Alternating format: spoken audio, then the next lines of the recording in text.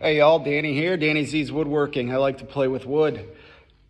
Just another reminder, tomorrow is the big day. Um, the Blocks Season 5 goes live. I am so pumped. Uh, I'm telling everybody I know about it just because it's such a cool thing. Um, yeah, super excited. Uh, hope you guys will tune in and watch it.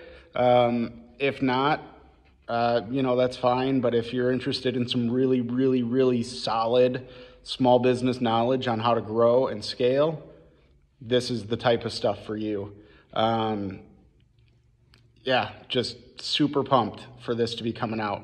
Um, also, uh, I am officially a member of the Burlington Area Chamber of Commerce, which uh, was something kind of on my list for a while. So now that I am growing, um, you know, there's things that I wanted to take care of, you know, as far as exposure goes. Uh, so again, excited for that as well. Um, looking forward to it, guys. I hope, hope, hope you guys will download and watch. Thanks.